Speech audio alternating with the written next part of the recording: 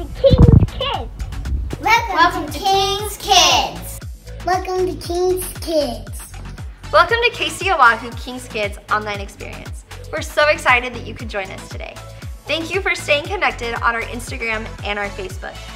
We've given away so many prizes this week and we have more. So make sure that you're posting your scripture verses and your video challenges because we love to see them.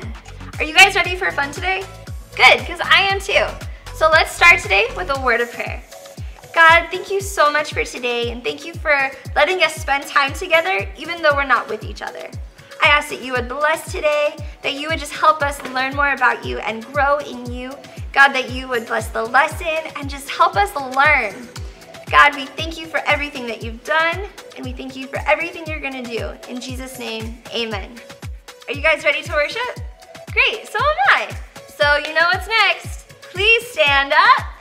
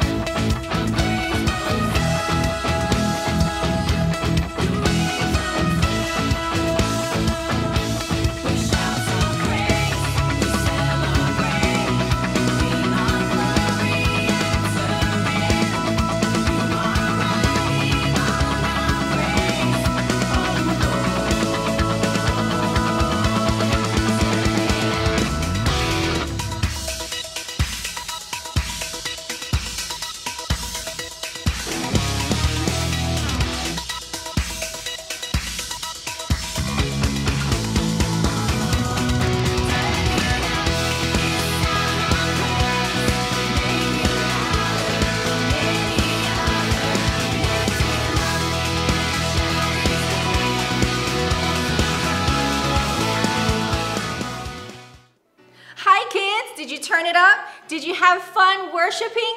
Let me hear you just give God a great big clap and cheer. Yes.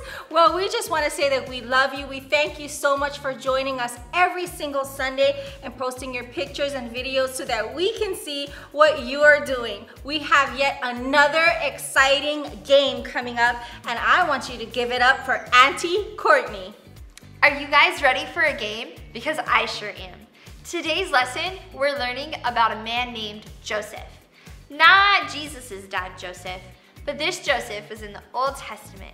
He was one of 12 sons, but he was his father's favorite. Some people say that he had a coat of many colors. It was a gift to him from his father to show that he really was, well, the favorite. So today, we're gonna give you 30 seconds to find three pieces of clothing that are so bright and so crazy, it's almost like Wacky Wednesday at school. All right, so this is what I found.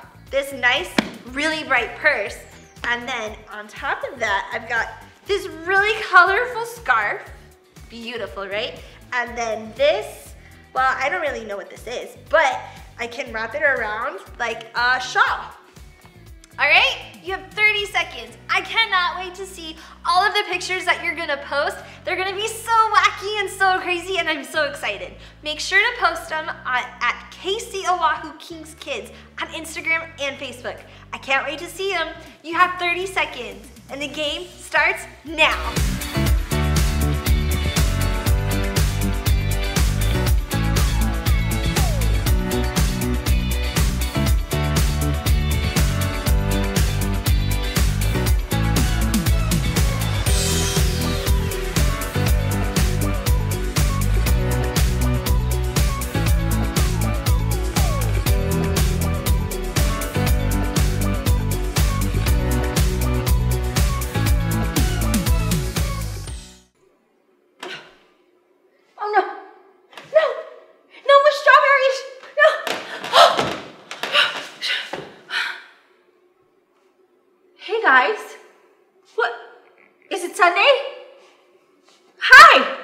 I just had the craziest dream.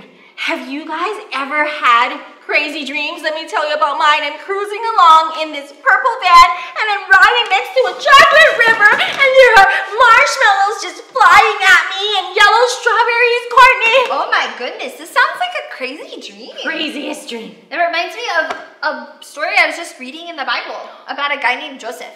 Joseph! I know Joseph. I know this one. He is Jesus's dad. No, same name, different guy. Oh. This Joseph was in the Old Testament. He was one of 12 sons to a guy named Jacob. 12? So he had 11 other brothers? He did. It's a lot. But he was Jacob's favorite. And I know this because he, his dad gave him a coat of many colors. I remember the coat. I remember now. Yeah, so he was the favorite, so all of his brothers were kind of upset with him. I don't blame them. They them. didn't like him very much. But, like I said, dreams. Joseph had some pretty crazy dreams. One of them was that he was a corn stalk, which is kind of weird. But he, there were 11 other corn stalks around him, kind of like in a circle, and they were all bowing to him. Now that sounds like a crazy dream, but God gave Joseph a gift that he could tell you what dreams meant. Wow. Yeah, super cool. And he knew that this dream meant that his brothers were going to bow down to him. Oh no. Yeah, so he told his brothers. He didn't. He did. Mm-mm. They were not happy. So on top of him already being their dad's favorite, then he told them that they were going to bow down to him like he was their king. They really didn't like him. So they came up with a really evil plan. They threw him in a pit. a pit? A pit. And they made it appear that his coat had been torn apart by animals. And so they kind of told his dad that he had been attacked by an animal and died. Jacob must have been so sad. He was heartbroken. His favorite son was killed. Or so he thought. But he wasn't really killed. Instead, he was sold as a slave. No. Yeah, he was a slave. To a guy named Potiphar in Egypt. Yeah, it wasn't a great deal. But it could have been worse. He was shown favor with Potiphar because he had proved himself to be a worthy slave. I guess favor is a good thing in this story. It is, until Potiphar's wife told a really big lie on Joseph, No! and Joseph was thrown in jail. No! Yeah, not a great deal. Jail. But- yeah, jail. But even though all this happened, Joseph still had faith in God. Yeah, he was trusting in God. That's He still had faith. faith in God. He did. He was trusting that God was going to bring him out of this somehow. Yeah. Even though he was beat up and thought to be killed and thrown in a pit and sold and the wife lied and he's in jail and he's still he still had faith in God. Yeah, crazy faith. So, eventually, this guy came along. He was a butler for Pharaoh, which is like the king, or like America has the president. And he had done something to make the Pharaoh upset, so Pharaoh threw him in jail. But he had a dream, and who do we know that can tell you what dreams meant? Joseph! Joseph. So, Joseph interpreted the dream of the butler and told him, Pharaoh's gonna come back and rehire you. So you're gonna get your job back and you're not gonna be in jail anymore. And the butler said, You know, if that's true, I'm not I'm not gonna forget you. I'll remember you and I'll help you get out of here. things are looking great for Joseph. Exactly. Until the butler got rehired and then forgot about Joseph. No. Yeah. So, two whole years, the butler just completely forgot about Joseph. Oh no. But it's okay. Joseph was still trusting that God was going to do something great. He's such a great guy. Yeah, like I said, crazy faith. And the Pharaoh, well, he was having some pretty crazy dreams. Like dreams that he could not sleep. Like for nights on end, there was no sleep in sight. And he was like, you know, I just need someone to tell me what this means because it was the same dream every time he closed his eyes. I know the feeling. Yeah, kind of like your crazy strawberry dream. Well, the butler was like, oh yeah, I remember this guy named Joseph. Let me go get him. So Joseph finally got out of jail and told the Pharaoh what his dream meant. And, well, the dream, it was seven years that Egypt was going to be like good crops, like they were going to be set on food. But then after the seven years, they were going to have a famine, A famine? which means that there's going to be no food. Oh no. Yeah. But because Joseph interpreted the dream, Pharaoh was so excited because it meant they could prepare for the famine. So they were set. They weren't worried about it at all. So Joseph became Pharaoh's right hand man. Yes, Joseph! Yeah, Joseph. So even though he had all of this bad stuff happen to him, he kept faith that God was gonna get him out of there, out of the bad situation. I have to remember this. Yeah. I have to remember that even though it looks bad and, and things seem to be going wrong all the time, God probably still has a great plan for me. That is kind of what our scripture verse is about this. What? Yeah, it's Romans 8 28. For God works all things for the good of those who love him. We love him. We do. Oh, and the coolest part is remember that dream that Joseph had about his brothers? Well, his brothers, well, since there was a famine, they needed food. So they came back to Joseph and they didn't know it was him. But they said, please, we just need help. We're starving. There's no food. And so they bowed down to him. So just like his dream, Wow. yeah, God brought it to pass. He had to go through a lot of stuff, but God had a plan. We know that all things work together for the good. Those who love God, Romans 8:28. Wow, what a great lesson. What a great time we got to spend with you today. Auntie Jen and I miss you so much. So really quick, I want you to wrap yourself, wrap your arms around yourself and just pretend it's a hug from me and Auntie Jen because we miss you so much. And great job on the game. So here we go, ready? High five. Bam, there it is. Oh my gosh, you guys did so good. I can't wait to see all of the posts that you guys are gonna make at KC Oahu Kings Kids on our Instagram and our Facebook page because every post you make, you get virtual Kings Cash. So when you guys come back, you're gonna have so much money to spend at the store.